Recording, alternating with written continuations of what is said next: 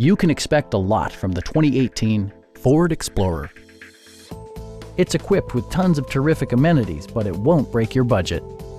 Like power windows, mirrors and seats, front and rear reading lights, a tachometer, variably intermittent wipers, a leather steering wheel, an outside temperature display, heated door mirrors, and remote keyless entry. Third row seats provide an even greater maximum passenger capacity.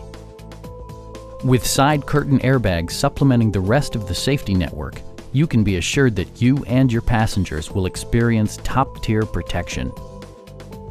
Our sales reps are extremely helpful and knowledgeable. Come on in and take a test drive.